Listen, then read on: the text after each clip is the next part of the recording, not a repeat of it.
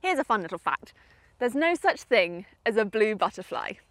Now you may be thinking, Sally, you need to go and get your eyes tested, but I can show it to you. If I only let the sunlight pass through the wing and not bounce off the surface, you can see that it miraculously now appears brown.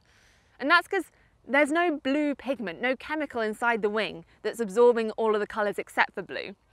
Instead, it's a structural colour. And so if we were to zoom in onto the surface of the wing, it would look like a forest of Christmas trees with all of these branches that are very regularly spaced. And all of the light of the rainbow comes in and bounces around between these branches. Most of the colours get cancelled out, but the blue light can reflect off, and that's why it appears blue. It's the same with human eyes. If you've got blue eyes, your eyes are actually colourless, and it's just only the blue light can reflect out of them. So maybe you shouldn't be examining my eyes, but your own.